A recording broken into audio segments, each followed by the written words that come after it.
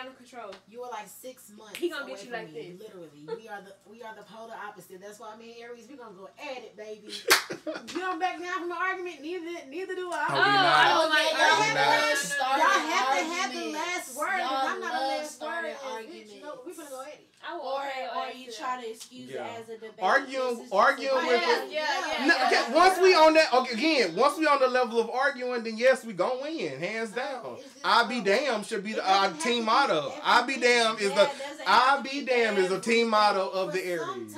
I I'm just be saying, damn. sometimes you can just choose to stay chill. You don't Oh, have yeah. to do every single thing. I, you know what, and I don't think have to always I will say I think that comes with growth, um, because At least I growing up, you know, being a little bit wilder, I was like the fighter. You couldn't say nothing too much wrong with me, and I'm gonna fight. Like it, you know. But as you get older, you learn how to control yourself. And the thing about Aries, we have great control, but you just have to apply it and want to control. So that's why I'm more so chill now. But then when I do lose it, people be like, "Oh yeah, I forgot all about that. Too The turn up was there.